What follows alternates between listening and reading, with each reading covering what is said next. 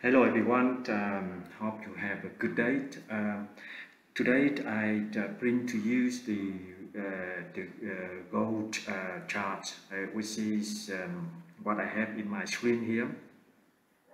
So uh, in just giving you the background of, of this, so I have the sales teams, uh, the sales team of the four people, right? And uh, I have a target for each of them. Let's say I pick the guy in Luke uh, Fennett, and he have a target for this year is 500,000, and uh, his here is around 40%. So he, he the uh, the needle here showing that he have less than 50%, uh, right?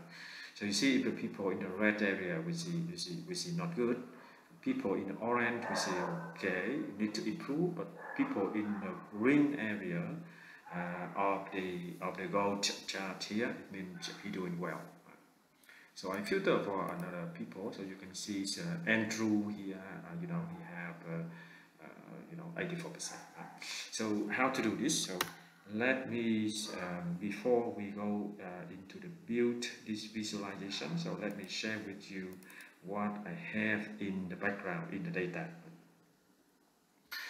Um, so, so, so simple is, is I have uh, okay four people, uh, sales teams here, and the target for each of them, and then the year-to-date performance. Right? Uh, I have a chart here. I uh, I build this in Excel and I copy uh, I, I copy and paste, just use it for the uh, for the Tableau. I, I save it in the image file and also I have some formula here. If you are familiar with the mathematical formula, you can see so this is the formula in order to create the uh, x, um, the point in the x and the point in the y axis. So don't worry about the structure of this of this formula. Just uh, use it, copy and paste it. So now I close it in order to allow the Tableau to access into the file. So I start from, from fresh, right? So a uh, few things I do here. Uh, the first thing uh, I create a year today uh, percentage. So I take the sale divided by target. It is easy, right? And um, you know, in order to have this uh, uh, the, the charts, I need to create the um, x and y axis. So uh, I shared with you earlier on the formula. So I say the formula in here. Right? I say if the um, parameter um, call the name of the salesperson and it's gonna be uh, this uh, this point gonna be uh, created in the x-axis in the x-axis here otherwise just put it one one means equal with 100 percent.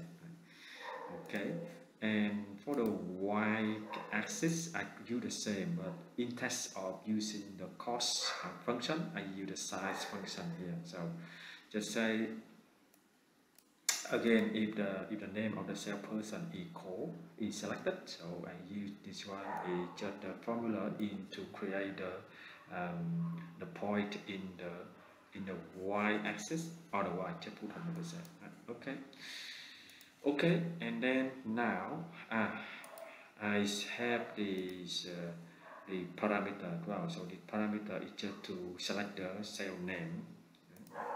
Okay and then I bring x into and I bring y into right? So I have the actually I have this uh, um, these uh, x and y uh, coordinates now so I will bring the salesperson into uh, detail. Right? So by this way, so we can have uh, a, this uh, the light. Uh, okay, so it's, it's automatically select to the light. It will connect here. So you can see the um, the formula I use in S and Y it work now. Right? If S here, S equal uh, right? So uh, multiply with uh, with some people, some some element I put in a function. Um, if no, and then it go to the one percent. Okay, and um, let me select another name. Yeah. It, oh, it moving here so I need to fix the formula here I need to fix the range of the um, axis here so it's gonna be central in one.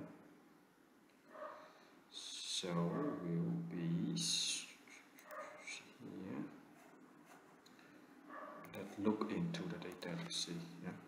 So I see x will be y will be 2.5 from 1 to 2.5 s will be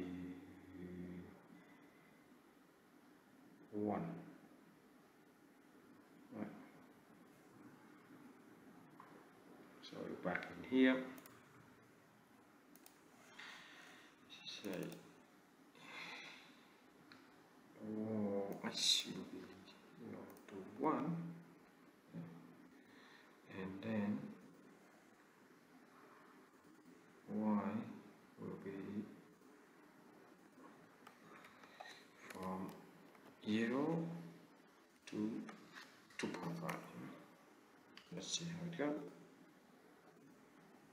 okay if I change to another guy disappear. So I need to put here 2.5 as well. Here we go. 2.5 1 here so it's 1.5 so this one just 1 so this should be uh, negative 0 0.5 yeah. Okay. And then that we start from here. So I start for the y is with 1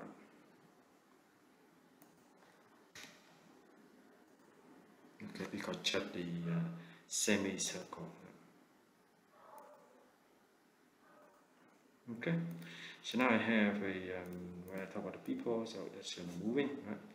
Okay and then uh, I just change the size a bit Good. Uh, I change the color to the okay. And now I put the uh, background images in okay. Exactly I have it here to put it in to look into the edits right? So we have uh, negative 0.5 okay. So bottom is 1 go to 2.5 x will be 0.5 to 2.5 okay. That's good. So let's put it in okay so now we have it yeah. we just have some uh, some yeah, some axis here so let format the background just remove it.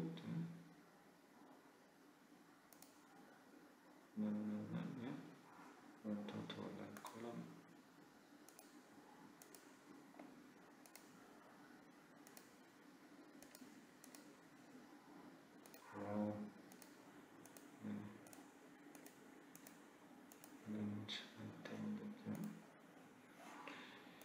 Okay, and now I remove the header So we have these, uh, actually we have uh, the um, the uh, now. So when we move, it's it change. So now what we need to do is just uh, do the couple formatting to put the uh, um, label in here, the target in here. Right? So uh, what I did is just here, I just print the target into and then I put the parameter here, just filter the right guy. Right? When, when we select here the the target will change and uh, I do this um, the dashboard I created the dashboard I bring it in and I put this label in here so now the, so now you have uh, in the dashboard the full of the uh, gauge chart so you see it so now I have it moving okay I hope you enjoy the uh, short uh, section today on the gauge chart and um, this this this uh, the visualization can be used, you know, into the uh, compare the performance versus with the KPI target, or you can uh, uh, do the um, odometer uh, for the car, or you know, uh, is more to look into the uh, the progress or the speed of the movement. So thank you very much for your watching and uh, have a good